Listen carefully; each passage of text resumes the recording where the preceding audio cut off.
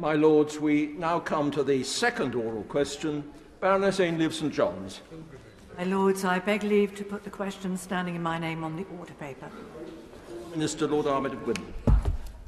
My Lords, we are marking International Human Rights Day with activities in the United Kingdom and overseas. My right honourable friend, the Foreign Secretary, will have more to say on our plans later today, and tomorrow I will be hosting an event with human rights groups. We fully support this year's UN theme of ensuring human rights are central to COVID-19's recovery efforts.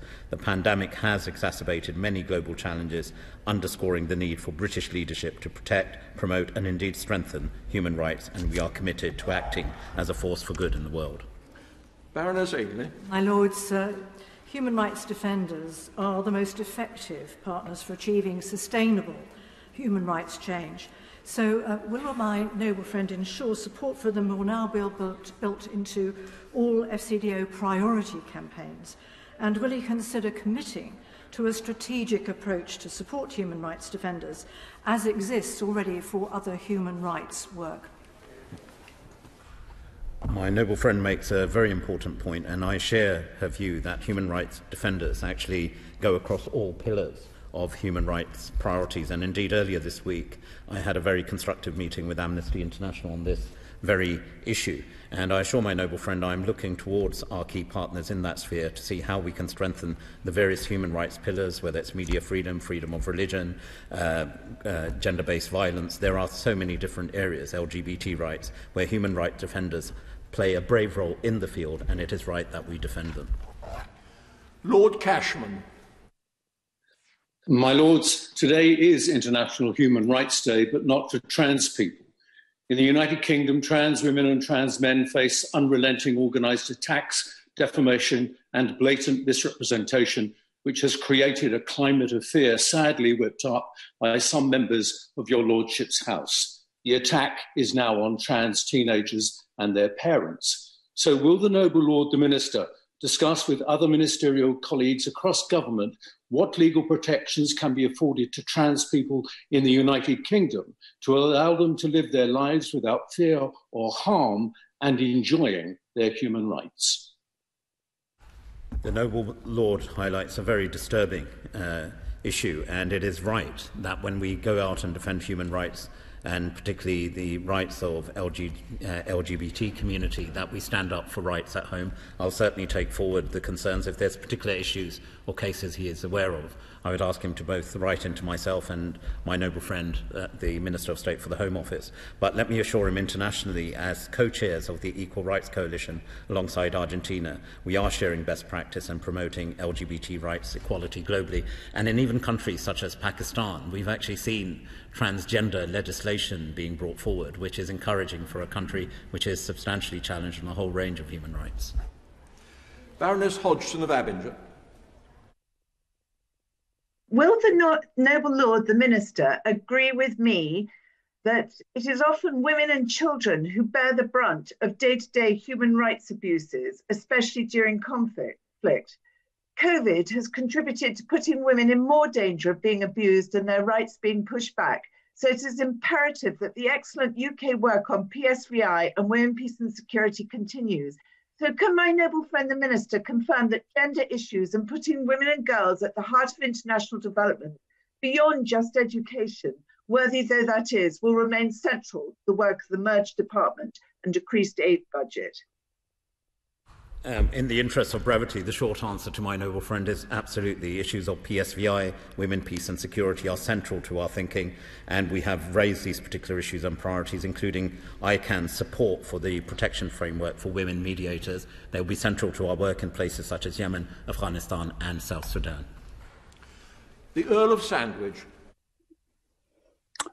May I first thank the Minister for what he does for human rights every day. And does he share my concern about continuing discrimination in India against Muslims, Christians, and other minorities such as the Dalits and Adivasis, and the impact this has on India's international status and Commonwealth profile? Is there anything the FCDO has done or can still do about this?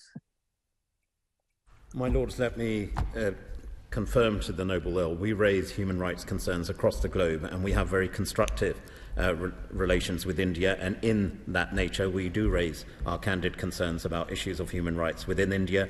I can assure you the issue of human rights, particularly freedom of religion, is enshrined in the Indian constitution. And we continue to engage very constructively on this agenda with India. Lord Anderson of Swansea. My Lord, I commend the commitment of the Minister in this field and also of his predecessor, Baroness Annesley. Could he say whether he agrees that there is great value in giving young people an appreciation of the importance of human rights? And to that end, would he therefore consider re relevant educational initiatives such as including a human rights component in curriculums and encouraging schools to invite speakers with a, a known human rights commitment to speak to them, uh, particularly those, of course, with personal experience of human rights violations. I thank the noble lord for his kind words and indeed join him in tribute to my predecessor in this role, who played a vital role um, on the whole range of human rights priorities. A very practical suggestions, and what I can assure the noble lord, I will take that back and write to my opposite number within the Department of Education to see how we can best take that forward. Baroness Northover. My Lords, the Noble Lord will have read the concluding statements from Andy Heyn, Consul General in Hong Kong on the restriction on dissent that he's seen um, over his time there and the fundamental changes this has brought about in Hong Kong. What chance does the Noble Lord the Minister see for the continuation of the vital independence of the judiciary there?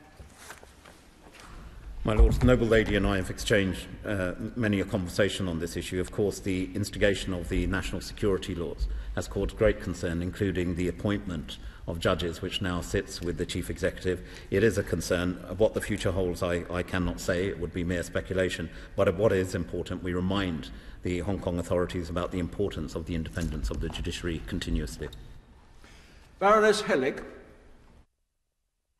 My Lords, as we mark Human Rights Day, hundreds of political prisoners, many of them women, are incarcerated by our ally and trade partner, the Kingdom of Saudi Arabia. One of them is Loujain Al Hathloul, in prison since May 2018. And as I am speaking, she is appearing in front of a terrorism court in Saudi Arabia. I know the government has raised a case with the government of Saudi Arabia, but can the, my noble friend tell the House what answer was received and what steps will be taken next? And will ministers use the opportunity of a new administration in the United States to actively work to secure Ms. Al Hathloul's release and the release of other activists like her. My lords, I share the noble lady's concern, and we continuously, as I have and my right honourable friend, the Minister for Middle East and North Africa have on the issue of human rights defenders, particularly women human rights defenders. There's at least five women human rights defenders who remain in detention in Saudi Arabia, and we do raise these cases. A practical suggestion, again, with the new administration coming in, we look to see how we can continue to work constructively with Saudi Arabia on raising these concerns on a regular and consistent basis. Lord Collins of Highbury. My Lords, if I could just follow up on the question from the Noble Lady Baroness Hodgson and the Noble Lord's response uh, on sexual violence. The 2020 report of the UN Secretary General found that domestic legislation in many countries meant that justice was still too often not served. Can the Noble Lord, the Minister, tell us what his department is doing? Is it offering technical support to countries, either multilaterally or bilaterally, to address this issue? As the Prime Minister's um, representative on PSVI, this is an issue very close to my heart, and I assure him we are looking at all elements, including technical support, because as we move out of conflict, that is when the laws, regulations, and constitutions of countries are created. They must be all inclusive, and that's why women mediators in particular have to be central and pivotal to that cause. Lord Woolf. My Lords, I hope you can hear me.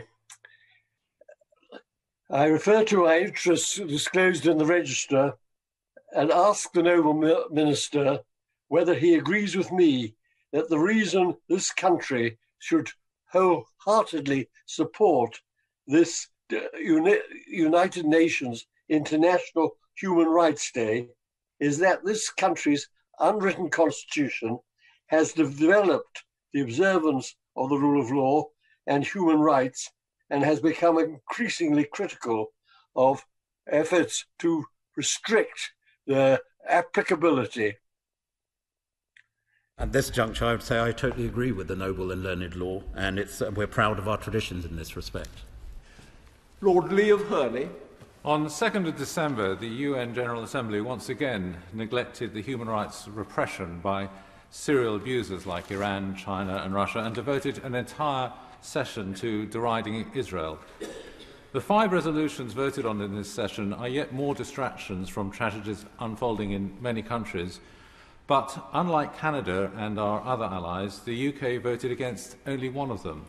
Does my noble friend the Minister agree with me that it's time for the UK to stand up not just against item 7, but against oppressive regimes by introducing resolutions that condemn human rights abuses?